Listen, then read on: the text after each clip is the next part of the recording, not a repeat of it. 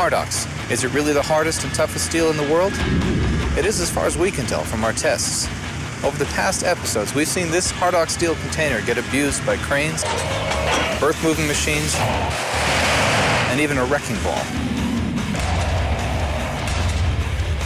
This time, Hardox wear plate comes up against its final opponent, Hardox itself.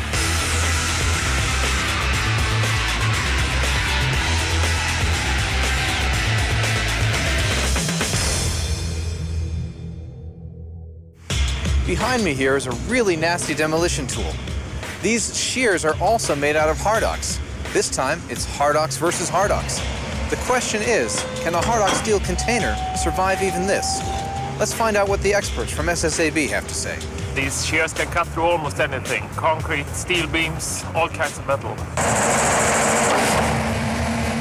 We have the container made out of Hardox 450 and the shears with knives out of Hardox 600. I think this time we don't need to do any tests afterwards. Hardox 600 is harder than Hardox 450. So this is the death of the Hardox steel container. Yes, I think so. Unfortunately, I think this will be the end of this very resistant container. From previous tests, we see the dent from the wheel loader. We can see the scratch marks from tumbling down the slope. We can also see the scratch marks from the sledgehammers from the strongman and dents from the wrecking ball. But these are basically minor damages. It's time to bring it on.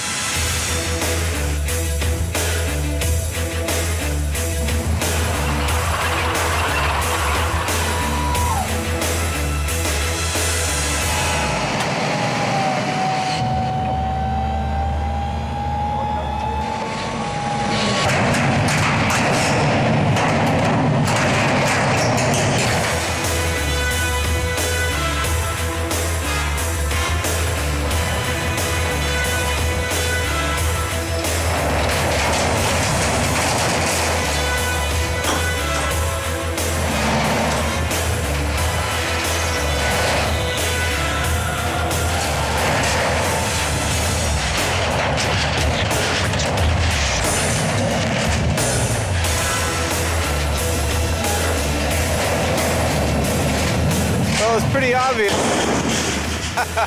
that the Hardox 450, the container, is no match for the Hardox 600 in the shears.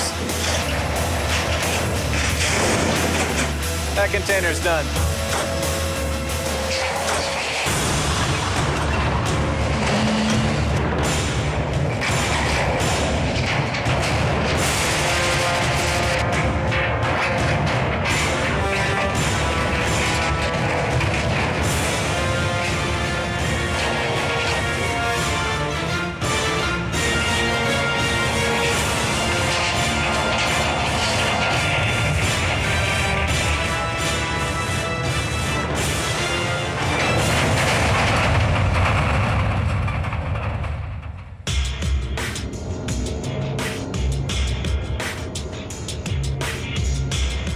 Well, the container could not hold up to the strong Hardox shears, but it took one of its own kind to beat it. There's no need for analysis now. Let's talk to the experts. We saw this coming, and we know that these shears are made in one of the hardest steels in the world, Hardox 600. It makes an extremely powerful tool, but the container held up really well. Well, finally, the container was destroyed, but it took Hardox power to beat it. This is our last episode. We hope you enjoyed these episodes as much as we did putting them together. Thanks for watching. Good night. The adventure continues at hardoxinmybody.com.